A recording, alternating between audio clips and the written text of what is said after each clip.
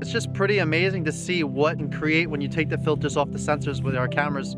Um, we use many cameras when we go out and film, whether we're going surfing or if we're going sailing um, or anything under the sun. We really just kind of have a broad spectrum of tools and equipment that we could use to document our explorations. So it's absolutely amazing, and uh, I love doing it. So.